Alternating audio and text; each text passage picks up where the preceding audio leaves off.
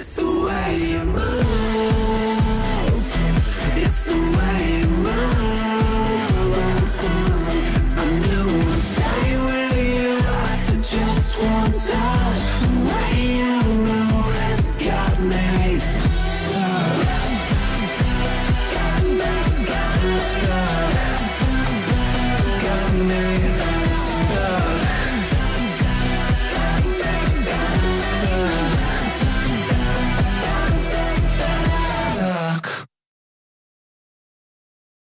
L'Abruzzo è la regione verde d'Europa perché ci sono tre parchi nazionali, un parco regionale, 38 riserve naturali e poi 14 bandiere blu. Con questi numeri l'Abruzzo è la maggiore area naturalistica d'Europa. Le zone protette rappresentano circa il 30% di tutto il territorio regionale. Eppure, eppure, anche in Abruzzo l'ambiente è ferito ed è lungo il campionario dei mali. Rifiuti tossici nascosti sottoterra scarichi abusivi nei fiumi, cementificazione selvaggia per godersi un posto al sole. E poi tratti di penna per riscrivere i confini delle zone sottoposte a vincolo e ancora gli incendi nei boschi e l'uccisione degli animali sullo sfondo affari leciti e illeciti. Benvenuti a un'altra puntata di 31 minuti.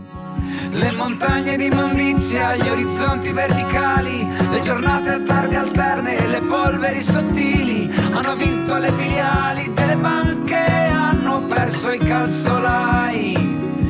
Ha perso la città, ha perso un sogno, abbiamo perso il fiato per parlarci, ha perso la città, ha perso la comunità, abbiamo perso la voglia di aiutarci.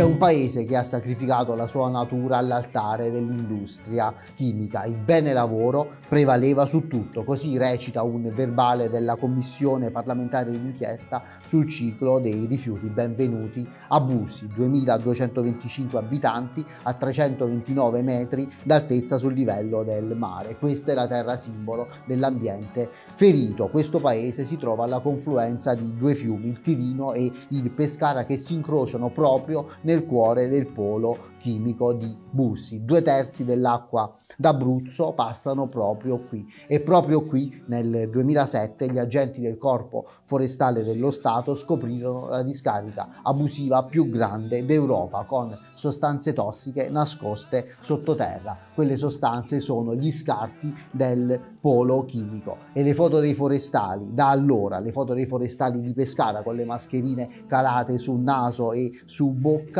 all'epoca guidati dal comandante provinciale Guido Conti hanno fatto il giro del mondo e poi ci sono i documenti. Non bisogna spaventare chi non sa, così dicevano i biglietti scoperti dagli investigatori tra i documenti della Montedison. Sono dei pezzi di carta che raccontano un inquinamento lungo 50 anni, forse di più, addirittura un secolo con valori sballati fino a 200 volte oltre i limiti di leggi. Una contaminazione che si irradia ancora oggi, tanto che a Bussi, in un cortile privato, fu scoperta addirittura la mela avvelenata, vale a dire che il frutto cresciuto su un albero era denso di sostanze tossiche. Adesso, a distanza di 16 anni dalla scoperta, la bonifica è già partita in località Tremonti ed è in partenza anche per le aree esterno Solvay dopo un lunghissimo contenzioso. Il Ministero dell'Ambiente ha appena firmato il contratto da 46 milioni di euro con le imprese aggiudicatarie dei lavori. Obiettivo è mettere in sicurezza l'area e restituirle salubrità, così ha detto pochi giorni fa il vice ministro Vannia Gava. Ma ma con la legge italiana dare la caccia agli inquinatori e punirli è un'impresa quasi impossibile anche per la procura. Ecco cosa ha detto Anna Rita Mantini, procuratore aggiunto di Pescara, una donna che ha dedicato anni e anni della sua carriera a indagare sui veleni di Bussi durante un'audizione nella commissione parlamentare d'inchiesta sulle attività illecite connesse al ciclo dei rifiuti oggi mi sento di dire che eh, le, le, le, tematiche della tutela eh, ambientale che determina ancora un perdurante rischio della, per la salute, per l'ambiente, non può essere affrontata con ehm, spese politiche con una visione burocratica e, e, quindi il tema del dialogo diventa centrale. Cioè, ecco, nel caso di specie di Bussi non è possibile pensare che gli organi anche tecnici, tipo l'ACTA, tipo l'ISPRA, che comunque già ancora nel 2021 e 2022 segnalano al Ministero dell'Ambiente eh, delle situazioni gravissime e, e credetemi, eh, in assenza di, di, di, secretazione non possiamo entrare nel merito, ma gravissime che riguardano anche l'alimentazione umana. Mm, ciò determini eh, chiamiamolo così, un, un rimpallo, chiamiamolo così, di, di, di, di, responsabilità, ma non voglio essere polemica, cioè di eh, un confronto eh, eh, di chi deve fare cosa, senza che ci sia un soggetto, direi attuatore del ripristino in senso ampio di questa situazione che comunque si prenda carico dell'urgenza. Io credo che sia questa una lacuna da colmare da parte del legislatore perché ovviamente in campo ci sono dei valori fondamentali, costituzionalmente rilevanti sull'articolo 32 della nostra Costituzione, cioè la salute delle, della collettività. Bussi è un disastro dalle proporzioni eccezionali, ma in Abruzzo ci sono tanti casi simili a Bussi e questa sera vi raccontiamo la storia di un fiume avvelenato e di un impianto dismesso da decenni ma che continua a inquinare terra e sorgenti. Il destino di questi siti è legato alle promesse della politica e finora non è andata granché bene. L'ex discarica di Villa Carmine a Montesilvano è una bomba ecologica a picco sul fiume Salino, una vera e propria emergenza così pericolosa da catturare l'attenzione di Giorgia Meloni in persona. 300.000 metri cubi di rifiuti abbancati sulla nuda terra, così dicono i documenti, senza alcuna impermeabilizzazione, come se dall'oggi al domani si iniziasse ad accumulare spazzatura su un terreno fino a creare un palazzo di oltre 27 metri di altezza con una base grande quanto un campo di calcio, una collina fatta di immondizia che sovrasta addirittura l'autostrada A14, una uh, discarica nata per caso sul finire degli anni 70 e dismessa a fine anni 90 e almeno dal 2005 i dati sono allarmanti. Già 18 anni fa a valle dell'ex eh, discarica, l'ARTA, l'Agenzia regionale per la tutela dell'ambiente, ha accertato la presenza di percolato, aumento di solfati, notevole aumento di cromo, nickel e sostanze organiche. Un'emergenza all'interno di un'altra emergenza, perché secondo gli atti del Ministero dell'Ambiente il fiume Saline è la discarica lineare più lunga d'Italia con 40 km di rifiuti interrati e nel 2008 su 72 due campionamenti eseguiti. Sulle sponde, l'Arta ha trovato per ben 40 volte rifiuti sepolti fino a 5 metri di profondità una, due, dieci, sono centinaia le gomme abbandonate qui a un passo dal fiume. Saline, pneumatici abbandonati nella notte addirittura con un camion e scaraventati all'interno di questa scarpata. In questo angolo di degrado c'è davvero di tutto, c'è il pallone di un bambino, c'è la bambola di una bambina, ci sono i rifiuti della quotidianità delle nostre case. E questo accade a un passo da questo corso d'acqua acqua che nei documenti del Ministero dell'Ambiente è dipinto come la discarica lineare più lunga d'Italia. Il 29 dicembre del 2018 a Montesilvano arrivò proprio Giorgia Meloni con lo Stato Maggiore di Fratelli d'Italia. Quello che vedete alle mie spalle è il volantino che pubblicizzava la visita della futura Premier ed ecco cosa disse la Meloni quel giorno a Montesilvano.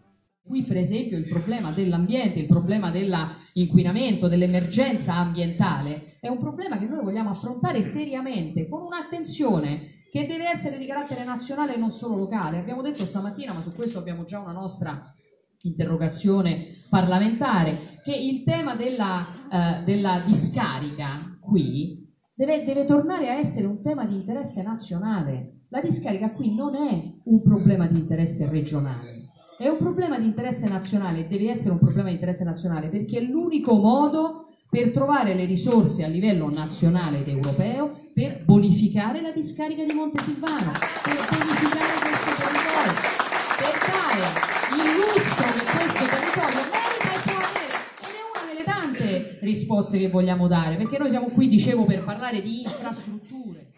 E cinque anni dopo le promesse di Giorgia Meloni, cosa è successo sul fiume Saline? La discarica è ancora qui alle mie spalle, inconfondibile. Sotto i miei piedi ci sono i rifiuti abbandonati nella notte dagli incivili. Una ventina d'anni fa, qui a Montesilvano, il sogno era quello della bonifica dell'ex discarica. Ma dopo tutto questo tempo, nonostante gli allarmi e i sequestri per il percolato che continua a fuoriuscire, a finire nel eh, fiume Saline, adesso si parla soltanto di messa in sicurezza. I fondi per eh, la bonifica pari a 10 milioni di euro da dividere tra i SIR Ali, Saline e Alento. SIR sta per sito di interesse regionale per l'inquinamento. Questi fondi stanziati dall'ex amministrazione regionale non ci sono più, fondi che comunque non sarebbero bastati. Adesso la regione ha annunciato lavori per 1,8 milioni milioni di euro per la messa in sicurezza. E come saranno spesi questi fondi? Per creare un impianto che succhia l'inquinamento, lo lava e poi lo smaltisce. Della bonifica non c'è più nessuna certezza. Negli anni 90 nel fiume Saline c'erano anche i gamberi, poi gli scarichi abusivi furono micidiali e non lasciarono scampo, niente più gamberi tutti estinti. Nel 1997 l'allora sostituto procuratore della pretura di Pescara, Pasquale Fimiani, fu ascoltato nella commissione parlamentare d'inchiesta sul ciclo dei rifiuti e raccontò di un'indagine chiamata proprio Gamberi Gambero. Con i carabinieri del NOE di Roma, Fimiani scoprì che rifiuti altamente pericolosi erano smaltiti nel depuratore di Montesilvano e quindi i veleni finivano proprio qui sotto nel fiume Saline. Pasquale Fimiani adesso è avvocato generale della Procura Generale in Corte di Cassazione. Ecco cosa disse in quell'audizione del 1997. Il soggetto in questione è risultato essere legato a un'organizzazione operante su tutto il territorio nazionale che aveva individuato nel depuratore di Montesilvano il luogo in cui effettuare in modo abbastanza tranquillo scarichi abusivi, sia in modo illecito nel depuratore, ovviamente o almeno si presume con il consenso del gestore del depuratore, sia, ed è questo l'aspetto più grave, illecitamente e abusivamente nella pubblica fognatura, benzene, toluene, arsenico, tutto nelle fogne e quindi nel fiume e nel mare. Un giorno, nel settembre 1995, raccontò ancora Fimiani, durante i lavori di saldatura i gas che promanavano da questi rifiuti sono esplosi e hanno provocato la morte del padre di questa persona, nonché lo sfiguramento in volto della persona stessa, costretta a ricorrere a trattamenti plastici. Dico questo per sottolineare la gravità della situazione. E Fimiani disse anche dell'altro, ricordate che era il 1997, 26 anni fa. Perché l'Abruzzo? Sotto il profilo geografico è facilmente raggiungibile sia dal nord, sia da Roma, sia dal sud. Si diceva una volta che la regione era un'isola felice perché sicuramente rispetto ad altre situazioni l'Abruzzo gode di una realtà territoriale ed ambientale più tranquilla. Abbiamo però diversi segnali di coinvolgimento della malavita in questo settore anche in Abruzzo. Luciano Di Tizio, presidente nazionale del WWF. Il WWF in Abruzzo è nato nel 1972, ma l'ambiente abruzzese era più a rischio prima, 50 anni fa, oppure adesso?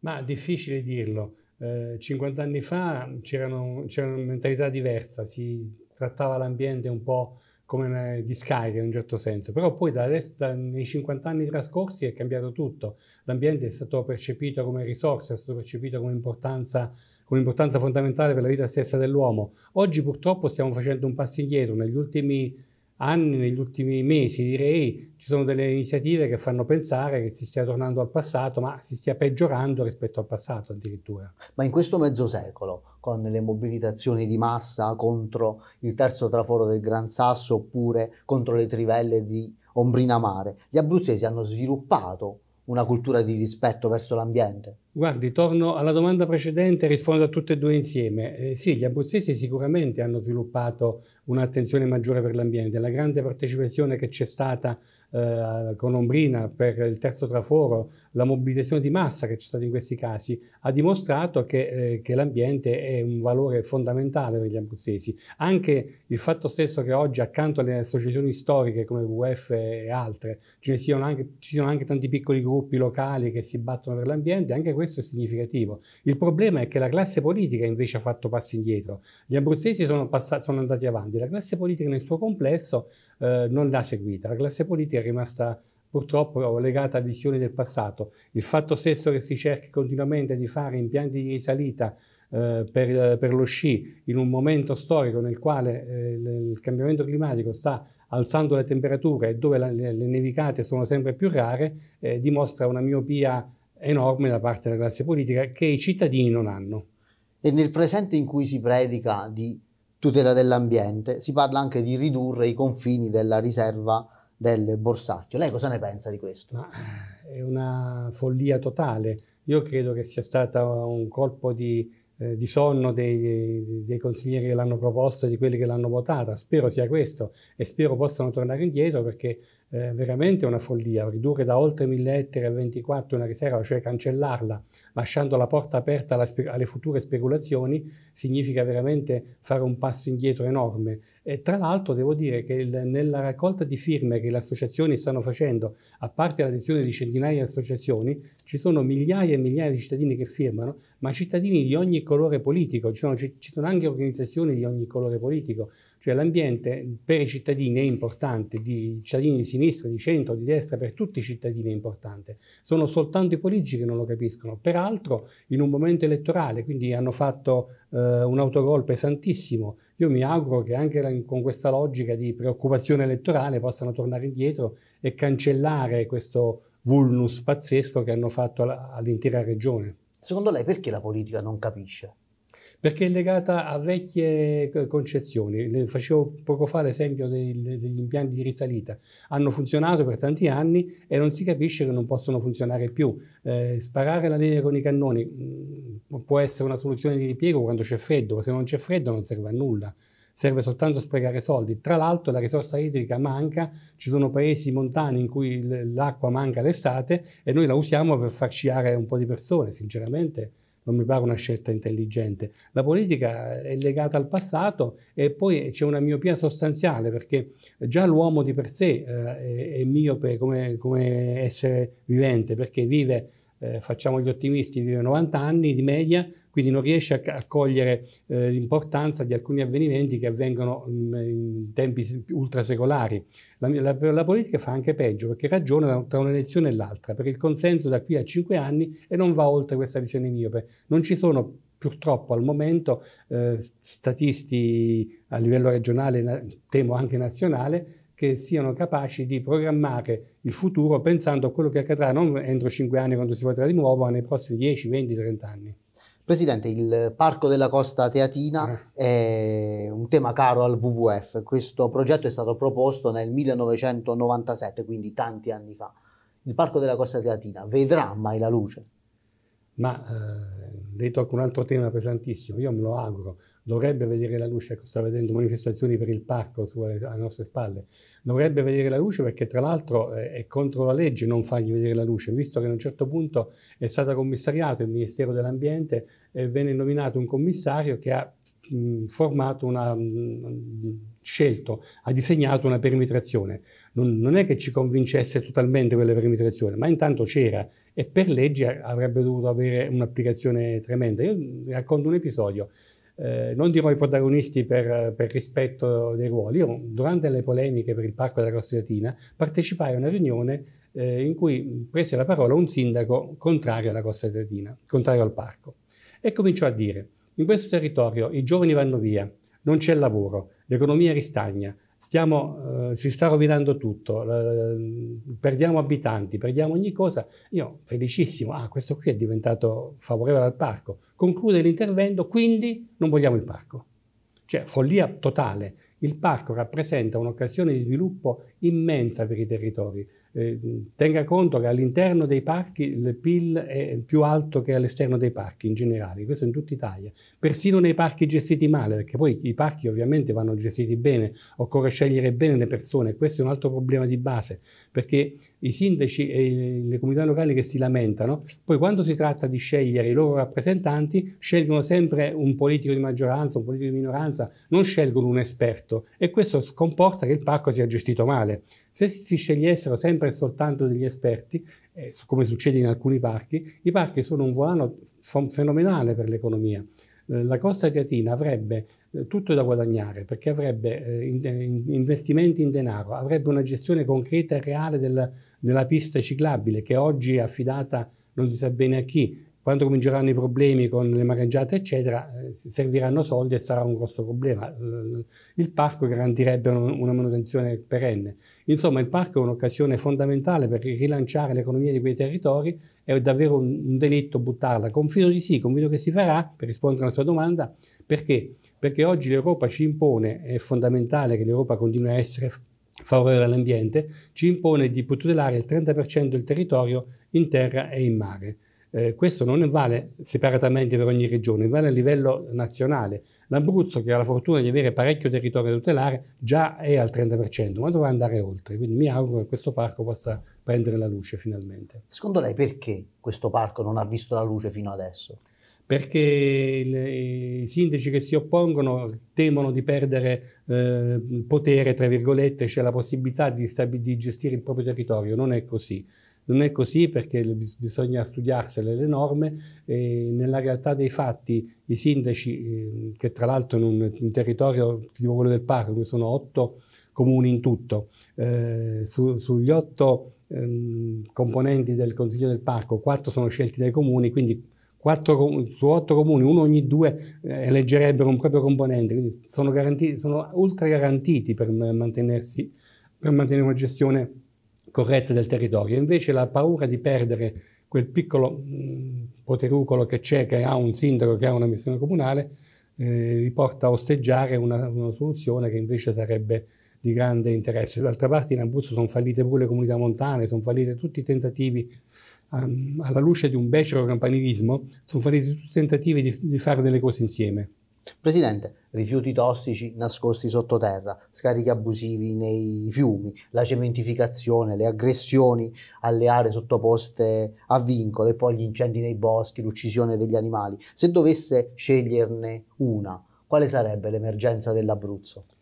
Ma la cosa più importante è la tutela del territorio, perché tutelando il territorio si tutelano anche gli animali, si tutela tutto. Quindi no alla cementificazione, bassa costruzioni, eh, riedifichiamo dove si è già costruito, non, facciamo, non occupiamo altro territorio, eh, eh reintegriamo te- le, le, aree che sono state rovinate, non costruiamo mai più eh, sui, vicino ai fiumi né sulle pendici delle montagne né in zone di frana, evitiamo follie come per dirne una l'ultima che è stata inventata in Abruzzo, un ponte di ferro in mezzo alle montagne in, zona, in una zona delicatissima dal punto di vista ambientale, in una zona sismica 1 dove è altissima la possibilità di un terremoto devastante eh, invece si pensi a tutelare il territorio che c'è e non a, non a violentarlo di nuovo. E questo servirebbe anche a tutte le altre cose che lei ha elencato. Presidente, sta per partire la bonifica di Bussi. Cosa ne pensa? Sta per partire da almeno vent'anni, quindi spero che parta davvero. Eh, anche lì bisogna, cioè, io ho seguito il processo a suo tempo, sono stato in tutte le udienze del processo in Corte d'Assise e devo dire che mi ha sconcertato l'esito finale, ma al di là di questo eh, perché le, le, sentenze si dice, si applicano, non si commentano, alcune volte non è proprio così.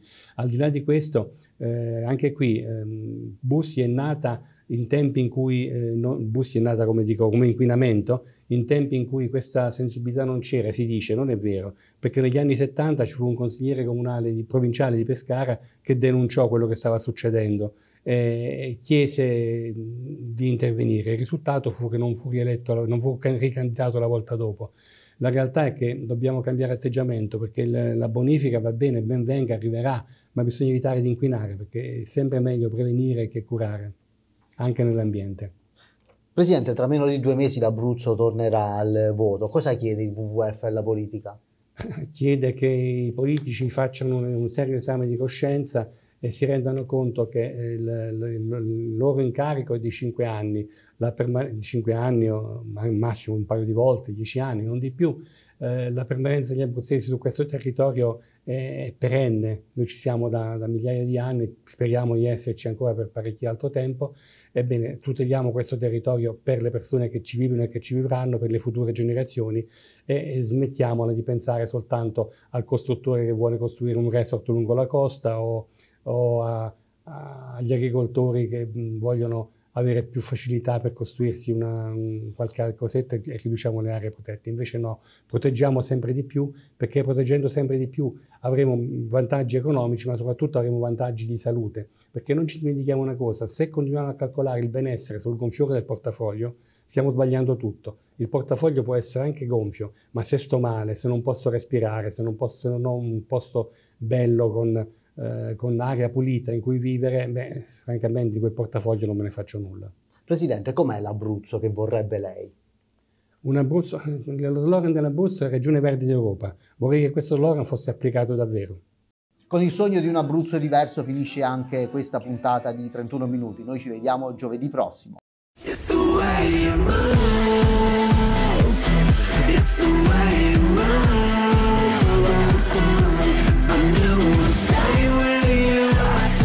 Just one touch